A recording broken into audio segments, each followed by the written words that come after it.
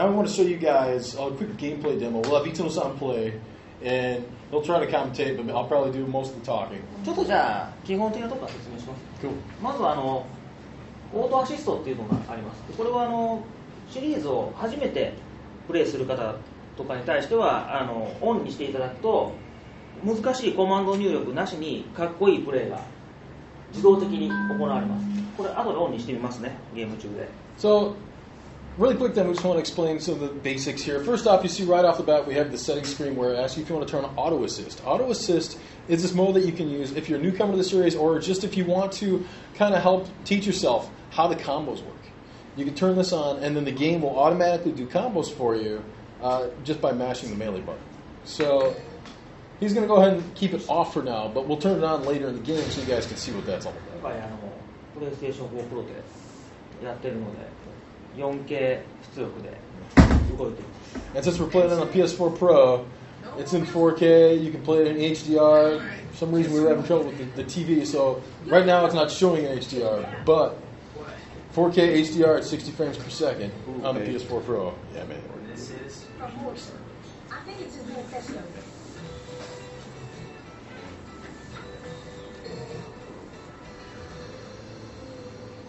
基本的な操作説明はねこういう形なんですけどもゲーム中、まあ、オプションボタンポーズボタンを押してもらうとここにここの表示は全部出てくるようになってます And you see on the loading screen here, we have the control layout. But at any time during the game, you can also press the pause button.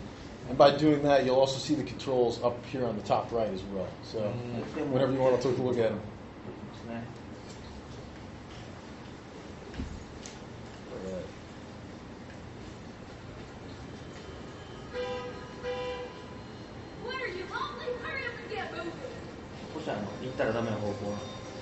I think he just wanted to show that if you go in the wrong direction, Nico will yell at you.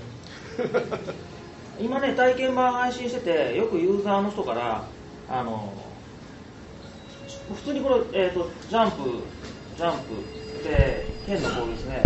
剣の攻撃。そして銃の攻撃。そして、えーこれがデビルブレイカー。というふうに操作あるんですけどもあの酒の行動がどこにあるんだっていう質問をよく受けるんですね You know, the demo came out. We've had the demo. We had a demo come out in, on Xbox back in December, and then now a multi-platform demo came out here February 7th.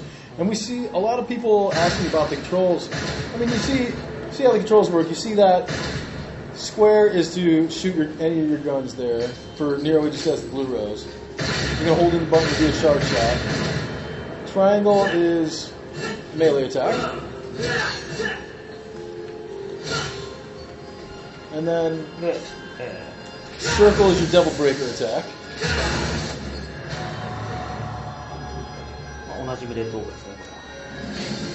And then, if you press X, you'll jump. A lot of people ask, well, what's the evade button? A lot of people don't know how to evade. Well, the Devil May Cry, there's a couple of ways you can evade, but just by jumping, there's automatically, when you jump, the moment that you jump, uh, invincibility frames. So this is something that I didn't know actually until later in the series either, amazingly. But this is like one of the basics. It's been around since Devil May Cry One. If you're having trouble with enemies, if you're getting attacked, just know that you can jump, and that's all you got to do to evade attacks. で、えーもう一つね、じゃあちょっと。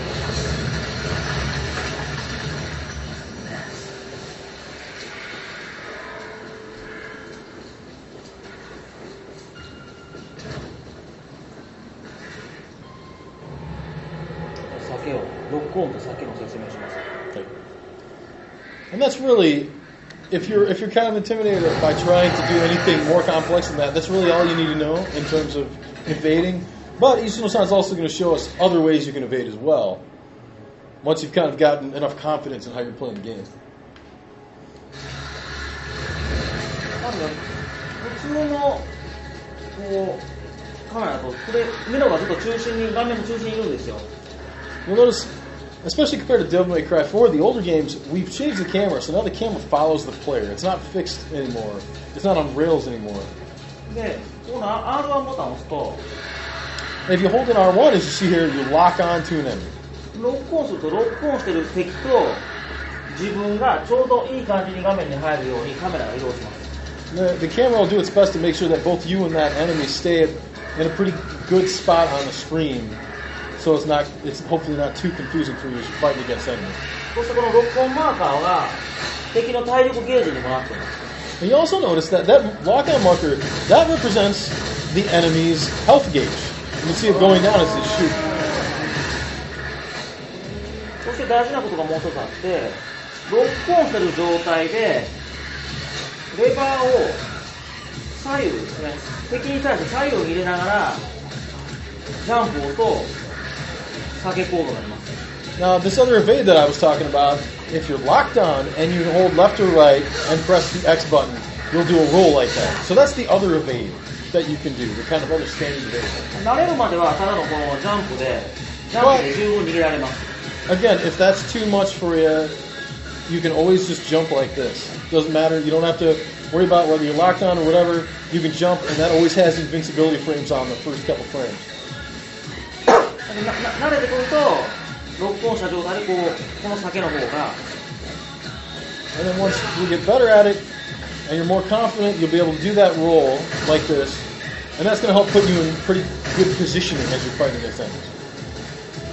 でもう一つ特徴的な動作としてワイヤースナッチというのがありますねワイヤースナッチはロックオンした敵をロックオンした状態で丸ボタンを押すと One of the other cool things about Nero is when you're locked on and you hit the circle button, that's when he does this wire snatch thing. He pulls the ロ enemy ックオ towards ン him. したやつに対してこう丸ボタンを押すと敵を引き寄せますなので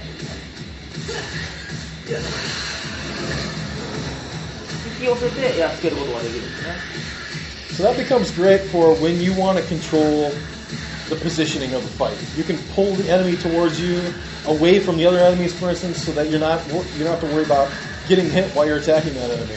どういうことかというとこうぶっ飛ばしたやつをもっぺんこれで引きつけてもっぺんぶっ飛ばすということができるわけです Or another really cool thing to do is you can knock them away like you just did, and then pull them right back in and keep comboing the same enemy.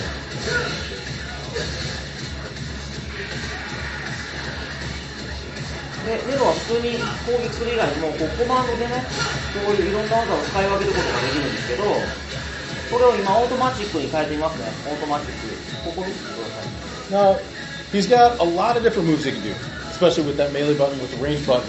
So, if you don't know how to do those moves, that's okay. That's why we have this auto assist. You can hold in the right stick, and that turns on the auto assist like that. オートの状態だと三角ボタンを押すだけで Now, just by having the auto assist on and then hitting the, the triangle button, he'll automatically do moves that will help raise your style rating. So you don't have to worry about learning the move.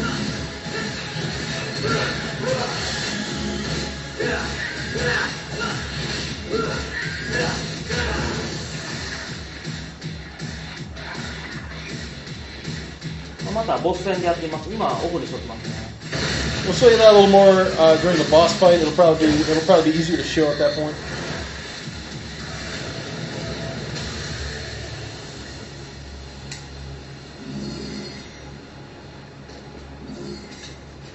でこの右腕のこのデビルブレイカーですねここにデビルブレイカーですけどデビルブレイカーっていうのは使用中に敵から攻撃を受けたりあとはこれをボタンを押し続けるとこうチャージ、チャージ状態なんですけど、このチャージしてる間も敵から攻撃を受けると壊れてしまいます。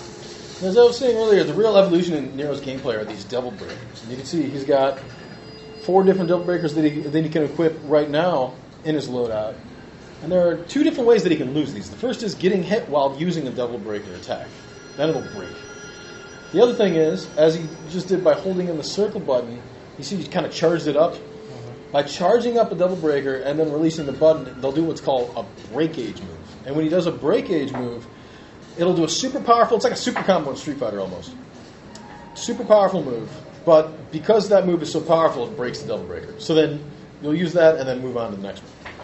それは後でやりますね、その。で、あのこれをじゃあどうやって切り替えるんだ、自分の使いたい種類のデビルブレーカーに切り替える方法っていうのは、自由に選ぶ方法はありません。And we've seen a lot of feedback from the demo where people have said, okay, well, I want to change the Devil Breaker that I'm using at a certain point in time. How do I do that? Well, the idea behind Nero is that his gameplay is different from Dante. His gameplay isn't about changing the weapon at any given point in time. His, his gameplay is really about how he can best utilize what he's got right now. So for him, we wanted to try what we could to differentiate that gameplay with the Devil Breakers. And so you can't change between them on the fly. And what you want to do then is instead, you want to strategize beforehand. Okay, I'm going to go into a new stage. I haven't been in this stage before. What Devil Breaker do I want to have at the beginning of the stage? What and what Devil Breakers do I want to have after that to hopefully work the most effectively throughout the level? Okay. でどうやって変えるかっていうとね自分でも切り替える方が一つだけあってそれはこのブレイクアウェイという技ですこれは自分の力であの切り離して自爆させるで爆発させるっていう技ですね And there is one way that you can switch from your current double breaker to the next double breaker in addition to losing it, and that's breaking yourself. 今次のパンチラインに変わりました so there you go. He just broke it and he switched over to the next one, punchline. でデビルブレイカーはこうやってあの道に落ちてることがあるんですねこれはあの2個が事前に置いてるんですけど、設定上は2個が事前に置いてるんですこうやって道に落ちてるときますこれを近づいていって拾うとこうやって拾ったやつが一番最初につくことになります So that's how you'll play with Nero then. Throughout the, throughout the level, you'll find these double breakers on the floor, for instance, and then you'll be able to go and pick them up. The kind of story behind that is that we've had Nico has sent out these drones to actually place them throughout the level for Nero. このドリルブレイカーはさっきのこのバーンって雷の手が大きい手が出る技と違ってこっちは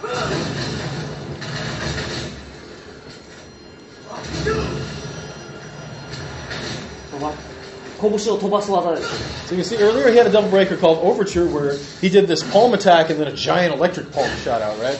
Now he's got one called Punchline, and as you can see, that's more of this rocket rocket arm that shoots out.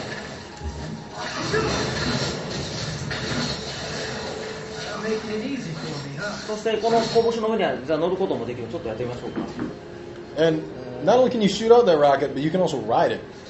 Kind of like a skateboard. So to show you that real quick. There you go. And this is a pretty stylish attack.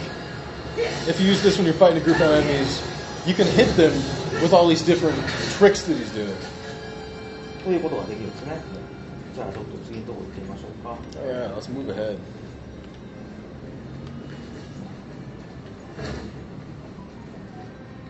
じゃあちょっといろいろ戦ってみますね あデビルメイクライっていうのはいかにスタイリッシュに戦うかっていうのをで自分に酔うゲームなんですね。ここに A から順番に ADCBASSS まで行くんですけどいろんな技をなるべく同じのを使わないように戦うっていうのが、えスタイリッシュを上げていくコツになります。とってみます。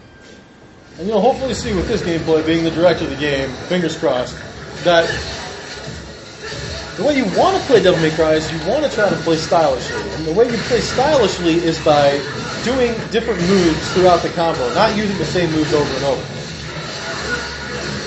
As you do these different moves, you see the style rank go up. He went from D to C to B. Hopefully, he'll go all the way up to A, S, and then maybe all the way up to triple S.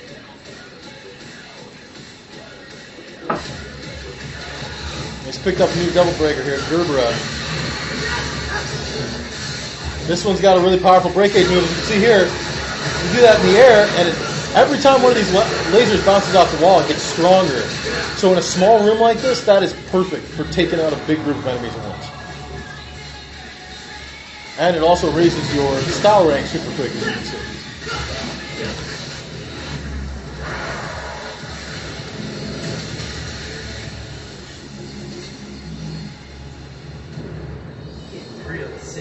今の緑色のガーベラはすごい強い技だったんですけどい一回で壊れてなくなってしまってます And maybe you noticed that he picked up that, that Devil Breaker. Gerbera used that move in the air because that was a one of the, the more powerful break age moves. That broke it, so now he's back to punchline again. でもねこうやってちゃんと落ちてるんで次のやつが And as you can see, there are more Devil Breakers strewn throughout the level, so you'll be able to pick those up and continue playing. もったいぶらずにどんどん使う方が多分強く戦えると思います One, when we designed the game, our intent was really that people would want to use the Devil Breakers, use them up, and because there's more on the ground, okay, keep trying to use more and experiment with them, uh, and really understand how powerful they are. Uh, we have seen a lot of people play though that they don't use them very much. They're very conservative with them. I know I was at first too. Actually, throughout development, I was for a long time. Uh, until I really learned that okay, well, basically there's so much throughout the game that it makes perfect sense, you know, to go ahead and pick them up, use them. The more you use them, the stronger you'll be. The higher your style rank's going to go up. 今この新しいデビルブレイカーこれが See, バ picked スター up- アームと言いまして The Buster Arm here. This represents the same functionality that he had in Devil May Cry 4 with his Buster, with his arm, the Buster attacks. His fancy throw moves.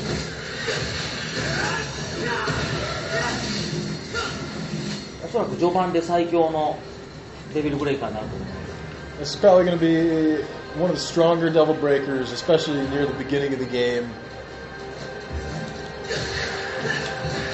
You don't necessarily get the Buster Arm right at the beginning of the game, though. Uh, if you pre-purchase the Xbox version on Xbox Live on the on the, the digital version as a bonus, you get the Buster Arm as something you can play with near the beginning of the game.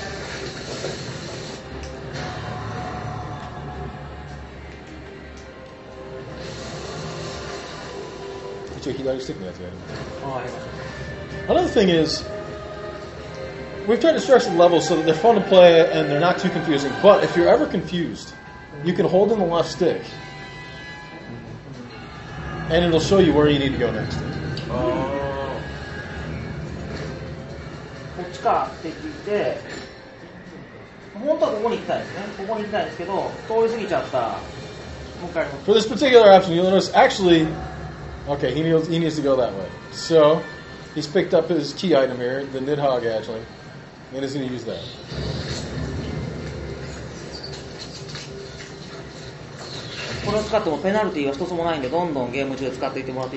And that's definitely something where there's absolutely no penalty in using that. So feel free to use that whenever you need to. If you feel like, oh, I've got him stuck, never be afraid to hold in that left stick. Nothing bad happens. Pretty sweet.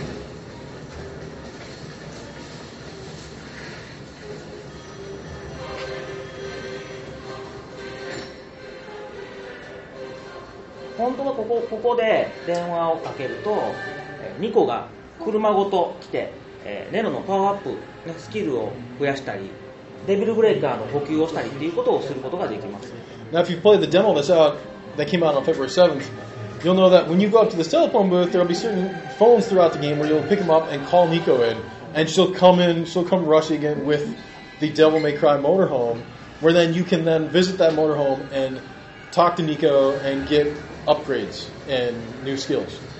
今配信中の体験版だと呼べるんで試してみてください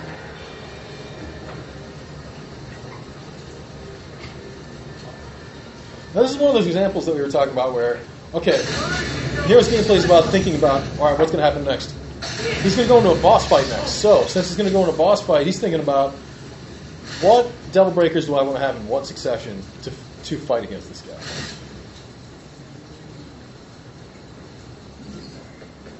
こうやって、ね、計画的にどういう順番かっていうのを揃っていくっていうのが攻略の一つになってくる。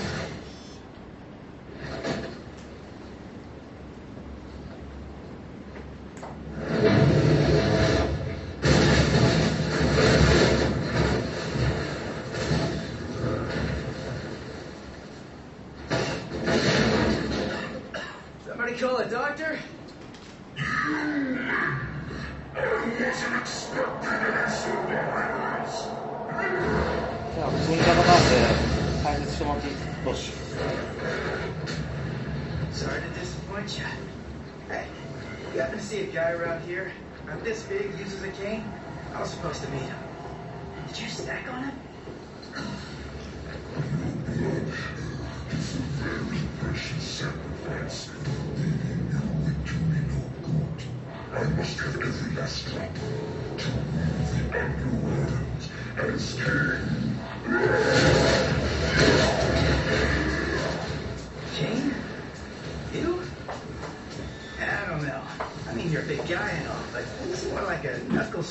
Wind than anything else. No offense.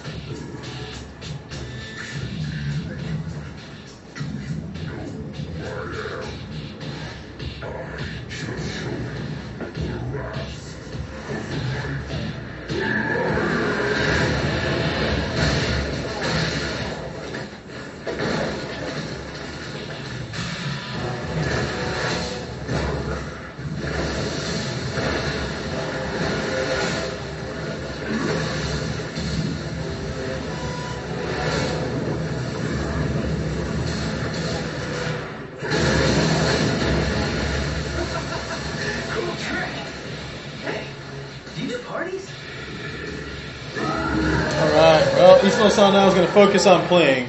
So, he's not going to be too talkative. I think I'll do most of the talking here. Alright, here we go. So, this is really the first big boss fight in the game. Sorry, We've had this in a couple.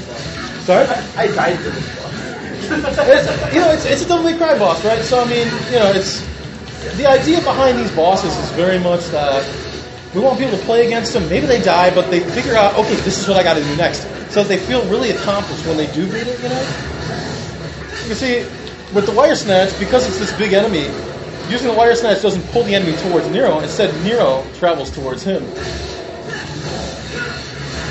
And you also notice that his sword is kind of lighting on fire as he's doing that. What that is, that's called that's called EX Act. What that is is he's got an engine on his sword, and he can rev that engine. And if he times the button press just right to rev that engine as he does an attack, it'll power up the sword for the next attack.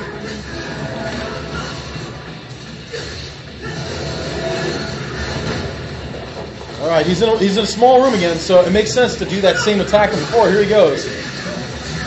Gerbera's air breakage move. Another fun fact with this one: if you lock onto an enemy when you use that breakage move, all the all the lasers will bounce towards that one enemy. If you don't have a lock on, then it'll just bounce all over the place. I've already gotten down close to half health here. He's got two overtures and a punchline in his inventory here. Overture's breakage is this time bomb that he's going to be able to implant. Let's see if he can pull it off. Man, you can really tell that jumping is a very big part of evading in Devil May Cry. Those air jumps also have uh, invincibility frames on them as well. He's got a Buster Arm. If he's able to stun the Goliath, daze him a little bit, he can use that Buster Arm on him for massive damage. Let's see if he's going to pull it off.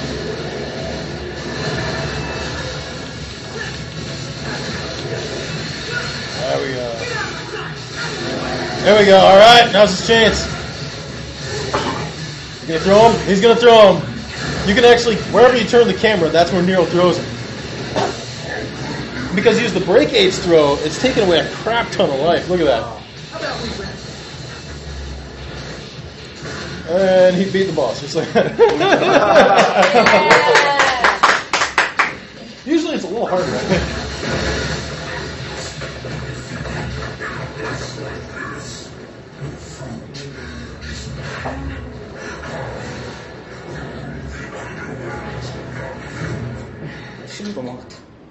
I think. Yeah, so, so, so,俺も。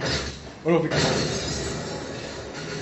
Neither of us expected him to actually die there. So. All right, A rank, not too shabby. Not too shabby. The highest rank is S. Past that, you see, he used auto assist, so there was.